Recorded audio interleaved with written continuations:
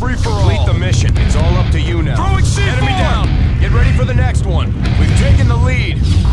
You're the only one left. Enemy nuke incoming! It's over! This is BO2, bitch! Hallo und herzlich willkommen zu einem neuen Black Ops 2 Video. Nachdem ich letzte Woche in Hardcore Team Deathmatch gespielt habe, werde ich heute zur Abwechslung mal wieder eine Runde Wettrüsten oder Arms Race auf Plaza spielen.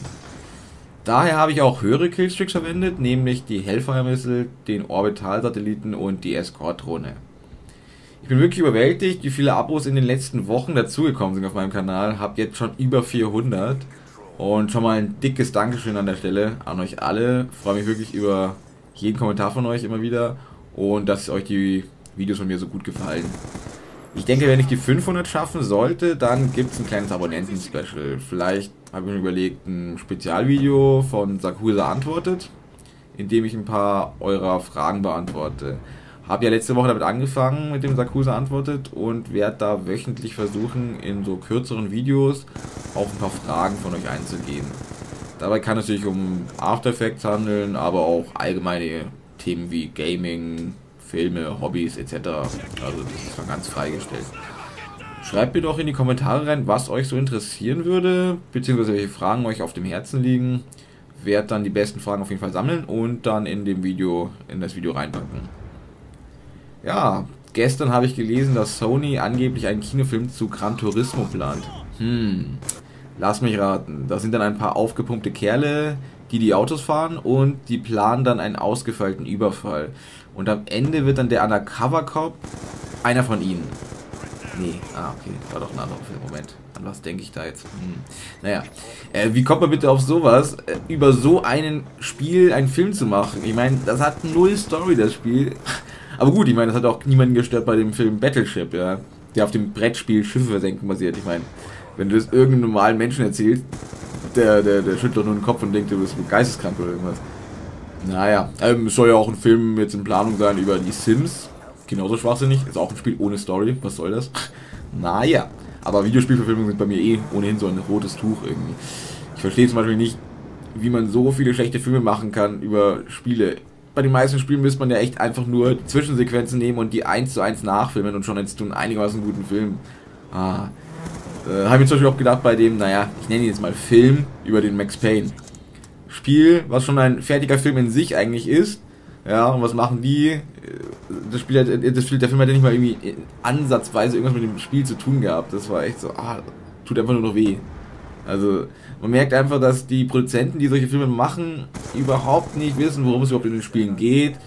Die sehen einfach, okay, es hat sich gut verkauft und denken dann, ja, wir machen einfach einen, irgendeinen Standardmist draus, ist ja wirklich völlig wurscht eigentlich. Wir vermarkten das einfach nur ganz gut mit viel Geld und dann werden die kleinen Trottel da schon irgendwie reingehen. Ja. Für wie dumm halten die eigentlich ein? Naja, anscheinend für sehr. Ah, und jetzt wird dann auch noch ein World of Warcraft Film gemacht, der irgendwie auch schon in längerer Zeit in Planung ist. Irgendwie wollte irgendwie Peter Jackson schon machen und jetzt ist irgendwie der, der vierte oder fünfte Regisseur dran und ach, das wird doch auch nichts werden. Vor allem, wozu? Herr der Ringe in schlecht oder wie? Ich meine, was braucht es die Welt wirklich noch? Ah, anscheinend. Ich wundere mich eigentlich eh, warum nicht schon längst ein Call of Duty Film gemacht wurde, äh, wenn wir schon dabei sind. Ich meine, einfach zu machen. Regie Michael Bay, Hauptrollen The Rock, Mark Wahlberg und als Überraschungsbösewicht ist dann Jean-Claude Van Damme am Start. Ja, und schon haben wir einen Sommer-Blockbuster vom Allerfeinsten. Ich meine, ja, sollte ich wahrscheinlich nicht so laut sagen, sonst kommt es noch auf Ideen. Kennt ihr eigentlich auch nur einen einzigen guten Film, der auf einem Spiel basiert? Also ich nicht. Und ich habe fast alles gesehen, ja. Also am ehesten fand ich da fast sogar noch den Doom-Film irgendwie am annehmbarsten. Allein schon wegen dieser Ego-Perspektiven-Action-Sequenz irgendwie, wo er dann die Big Fat Gun packt und dann gegen diese Schweineviecher da kämpft. Aber das will schon was heißen, wenn ich den schon gut finde. Ja. Gut. Genug geärgert. Am Ende noch ein bisschen PDV-Action hier. Und da kriege ich noch die Escort-Drohne. So soll das doch sein. Ja. Hoffe, es war wieder ein Video nach eurem Gusto.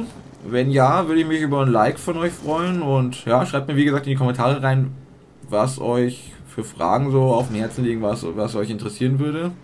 Genau. Ja, dann bis zum nächsten Mal. Bis dahin. See ya!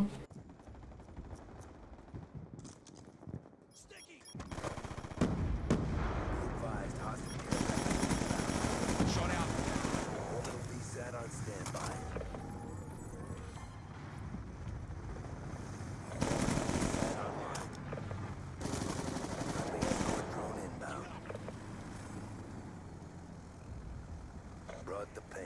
Time to get paid.